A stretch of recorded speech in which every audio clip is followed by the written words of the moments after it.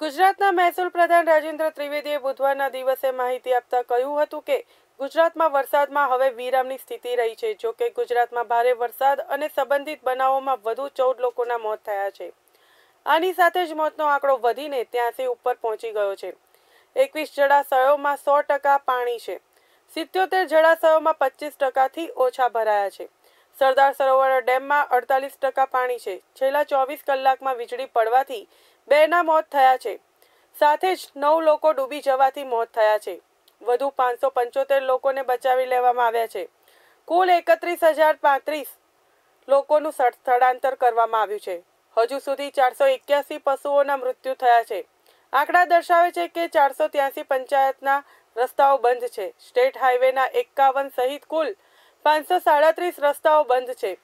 સાતસો ઓગણસિત્તેર ગામમાં વીજળી ગુલ હતી, જે પૈકી સાતસો ઓગણત્રીસ ગામોમાં વીજ પુરવઠો શરૂ કરાયો છે. જૂનાગઢ, સોમનાથ, ડાંગ, નવસારી, વલસાડમાં રેડ એલર્ટની જાહેરાત કરવામાં આવી છે. પણ ચેતવણીઓ છે.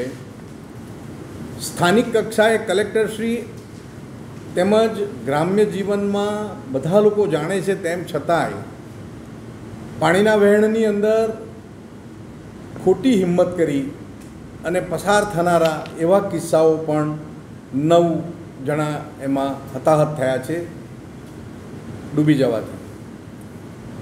રેસ્ક્યુ કરવામાં આવેલી કુલ સંખ્યા પાંચસો ને પંચોતેર વ્યક્તિઓની છે કે જે લોકો ખૂબ જાનના જોખમે ઉપાધિમાં મુકાઈ ગયા હતા અને એવામાં એસડીઆરએફ અને એનડીઆરએફના જવાનોએ મહેસૂલ વિભાગના અધિકારી કર્મચારીઓ અને પોલીસ તંત્રના સહકારથી અને ગ્રામ્યજનોના સહકારથી પણ આવા લોકોને બચાવવામાં આવ્યા છે. સ્થળાંતર થયેલી કુલ વ્યક્તિની સંખ્યા એકત્રીસ હજાર પાંત્રીસ થાય છે.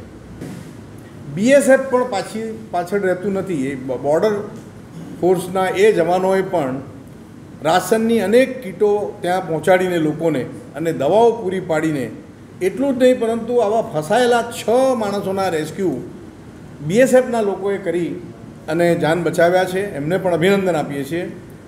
થવાના રૂટ હવે છે. એ એકસો ને ચોવીસ રૂટ છે કે જે બસ રૂટ ચાલુ થવામાં બાકી છે.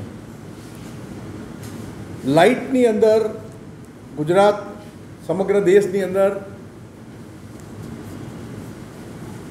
આદરણીય પ્રધાનમંત્રી મોદીજી જ્યારે મુખ્યમંત્રી હતા ત્યારે દરેક ઘરે વીજળી આપેલી, જે વીજળી આજે પણ ચાલુ છે, એવા એફેક્ટેડ ગામો સાતસો ને ઓગણસિત્તેર હતા, જેને જ્યાં વીજળીનો પ્રવાહ બંધ થઈ ગયો હતો. પરંતુ ખૂબ ઝડપથી જીયુવીએનએલે સાતસો ને ઓગણત્રીસ ગામોમાં વીજળી રિકવર કરી દીધી છે.